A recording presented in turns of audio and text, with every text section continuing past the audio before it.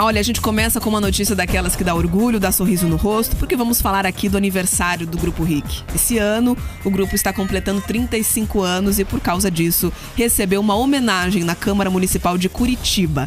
A cerimônia foi realizada ontem durante a sessão plenária da Casa Legislativa.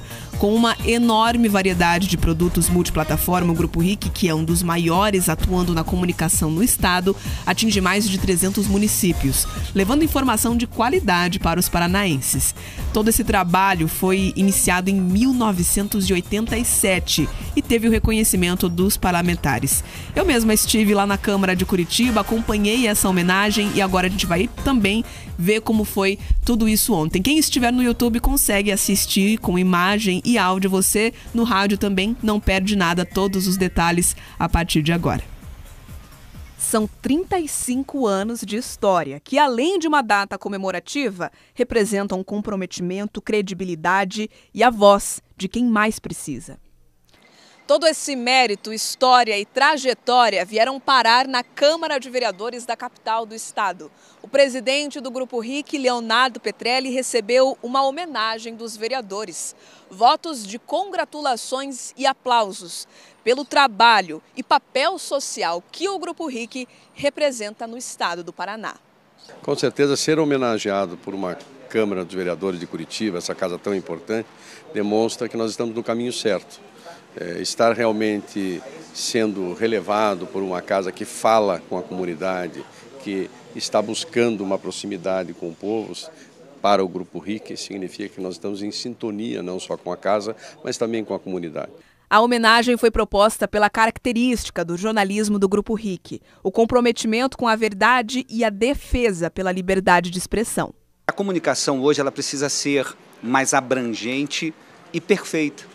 E o Grupo RIC cumpre esse papel, é, olhando para o futuro, trazendo essa inovação. Esse também é o papel da Câmara, é celebrar, comemorar e incentivar aquelas pessoas que fazem, aquelas empresas que fazem por Curitiba e pelo Paraná. E hoje essa homenagem especial ao Grupo RIC, 35 anos de história, histórias defendendo o Paraná. Mulheres do Grupo RIC também foram homenageadas por meio da coordenadora do Instituto RIC, que é o Cibel Silva, que foi lembrada durante a cerimônia.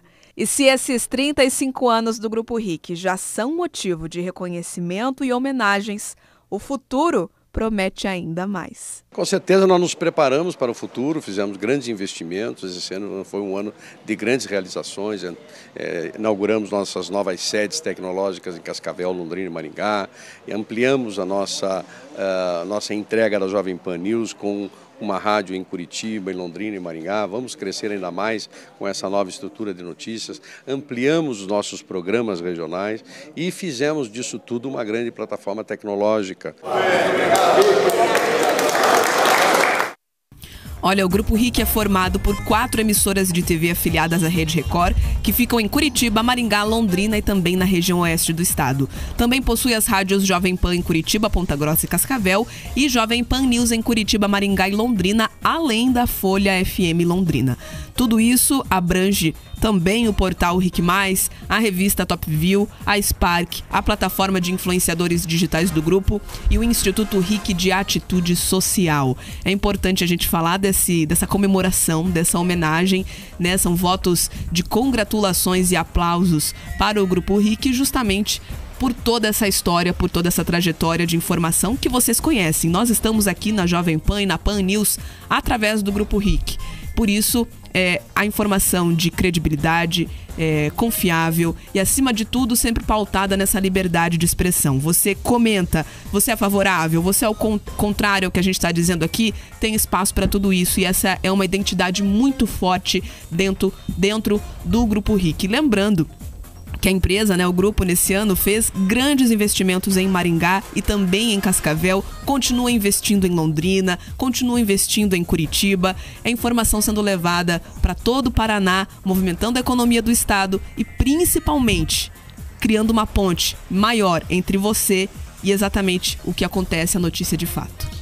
Olha, eu fico muito feliz quando vejo essa notícia dessa comemoração dos 35 anos do Grupo RIC, porque ele é um legado e um patrimônio paranaense. Então, quando você olha para trás, quando você comemora, você presta atenção naquilo que foi construído, mas você também tem esse olhar não só para o legado, porque já foi feito, né, de reconhecimento, de alegria, de celebração, mas também tem esse olhar para o futuro. Quando eu escuto aqui o Leonardo, né, o nosso presidente do grupo, falando do que já foi feito, do que está por vir, então você tem o legado, Bia, mas você tem também essa audácia de olhar para o futuro e de querer construir coisas novas. Essa integração entre as diferentes plataformas, a TV, a rádio, o portal, a revista. Então, toda essa construção ela mostra um grupo uno, né? Que tem um princípio, que tem uma estrutura e que tem essa linha que é esse, justamente esse respeito pelo Paraná, pelos paranaenses e pela liberdade. Então, se a gente consegue falar aqui, consegue trazer as análises, consegue ter esse grau de criticidade, é importante que isso foi garantido principalmente pelo nosso grupo editorial. Perfeito, Pedroso. Como você comentou, como a gente viu na reportagem que o Leonardo Petrelli também falou, o futuro ainda vem muita coisa e isso é bem legal da gente saber, né? Que é, a inovação não para por aqui nesses 35 anos. Serão muitas décadas ainda pela frente. Eu tenho certeza que o Grupo RIC vai acompanhar toda a movimentação, toda a demanda da sociedade e vai sempre se atualizar de forma muito dinâmica e muito rápida, que é o que a gente viu aí já nesses últimos anos com essa demanda da internet, dos portais, o chamado Omnichannel, em que a notícia está conectada em todos os canais e o Grupo RIC tem feito isso de uma forma exemplar.